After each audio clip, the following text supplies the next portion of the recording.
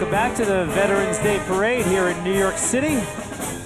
What do we have here? Sharp looking group. I don't know. I like their uh, outfits. It's a mixed outfit, isn't it? Looks like the old drill captain's hats. Yes. All right, we are learning a lot about the men and women who serve our country and keep us free and make us proud to be Americans. And we're also learning about the people who support our veterans and do so much, uh, especially when they come back home and they're not up to uh, feeling 100%. Well, this is Gary Chartrand Chartrand. on our right. Uh, he's from the Acosta Corporation.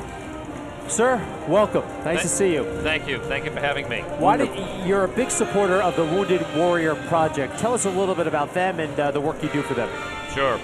Well, we're headquartered in Jacksonville, Florida, and so is the Wounded Warrior Project. And about three or four years ago, I got to learn about them, and they had me over and showed me what they were doing, and I just couldn't help but say, we need to get involved somehow, some way with our corporation.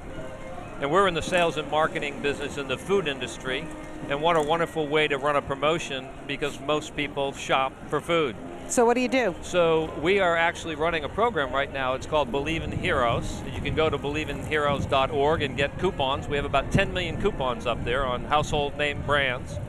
Take them to your supermarket, and all those brands that are uh, on the website uh, have contributed a significant amount of money to the Wounded Warrior program. We hope to raise somewhere between two and three million dollars this week for the Wounded Warrior. What are you at right now? Do you have a, a tally at, at this point? Because I- maybe we can rally everybody Well, to go out there and, and do something now. The last I heard, we were about a, a, a little over a million and a half. But you're up here in New York. What can other companies do to help you? Well, right now, I think the best way you, uh, people can help, not so much companies, but consumers, if you go to the website, uh, believeinheroes.org, get the coupons. As you buy those brands, those brands are contributing to the Wounded Warrior Project. That's probably the best way. Give us an idea what the War- Wounded Warrior Project actually does. Sure. Well, the mission of the Wounded Warriors is to honor and to empower wounded soldiers. Uh, there's somewhere over 40,000 wounded soldiers that have returned back from Iraq and, and Afghanistan, and over 300,000 that have returned with traumatic brain injury.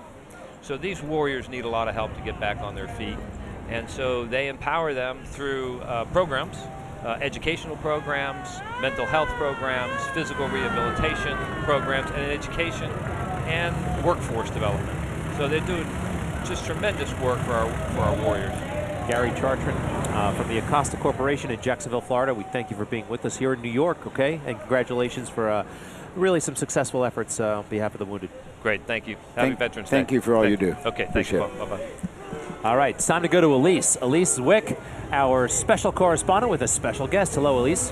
Hi, Greg. I am here with John Rowan, the National President of Vietnam Veterans of America, and Colonel Connie Christensen, a Vietnam nurse, a very amazing Vietnam nurse. So, John, can you tell us a little bit about how special it is to see more than 25,000 people marching in this parade honoring service, especially as a Vietnam vet?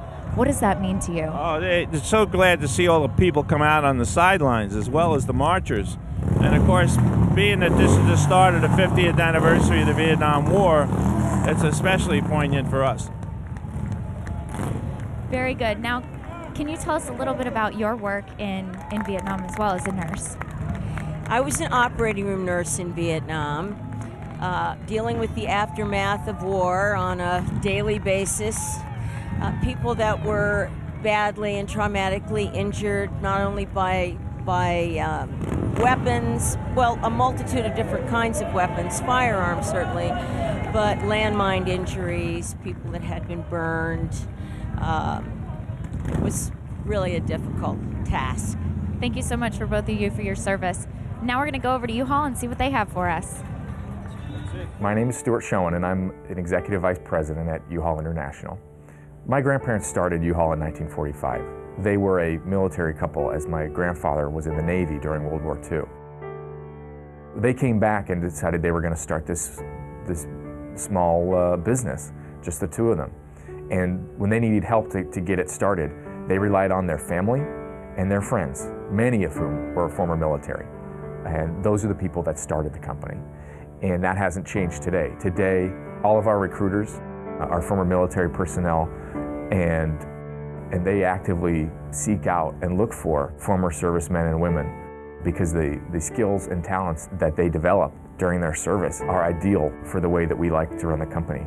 And six years later, U-Haul is still a family company that values veterans and welcomes them into our family.